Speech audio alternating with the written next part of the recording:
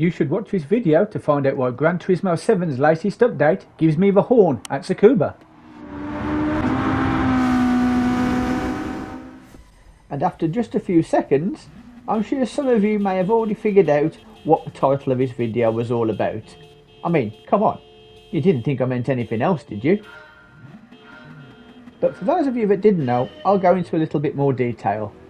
In Polyphony's latest update, update 1.17 for Gran Turismo, they gave us the ability to use the horns on road cars. Now, okay, it's not the most earth-shattering, groundbreaking update feature they could have given us, but it's a little bit of fun. And I actually think it's quite a nice little addition to the game.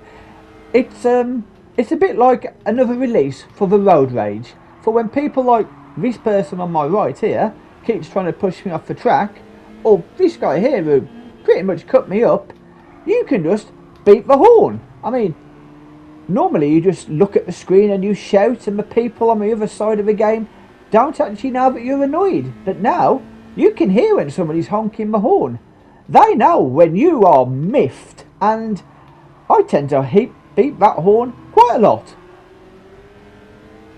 Like here is a perfect example when I lose not one, not two, not three, but four places. So I give that horn a good old toot to let them know that I'm just not happy.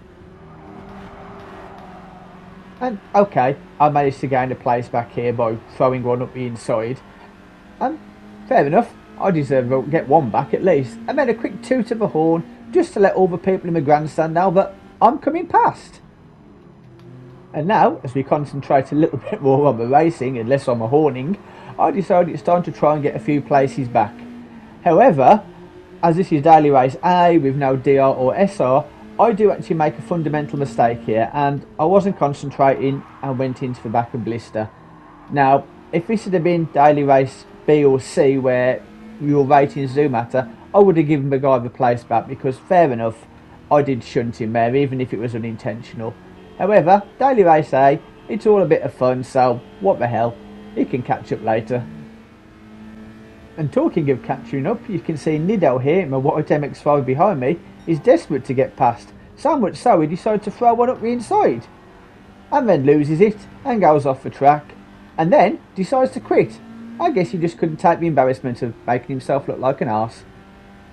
And talking of candidates for the next Jackass of the Week video, we have the Spaniard Insignia behind me, who puts in his first punt, and then obviously still wants to get past, decides that he'll line up another one as we come into this corner, and there he goes, round the outside, tap, oh, tried to pit me there, didn't quite come off that one mate, I don't know, maybe you should have another go at the next corner, and I just know this is coming, so I keep to the left a little bit, and yet he throws on up the inside, hits me twice and gets the place.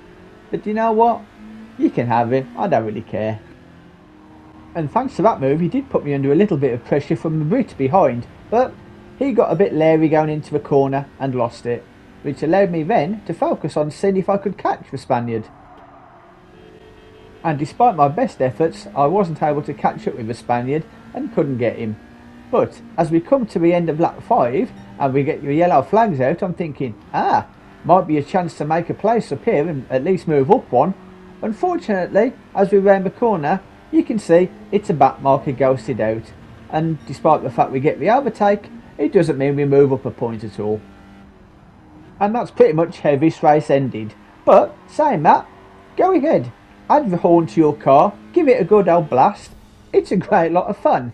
But just remember, if you can hear somebody else beeping their horn, look in your rearview mirror. That might just be me behind you. For more great videos like this one, just follow this link. Thank you for watching and I will see you in the next video.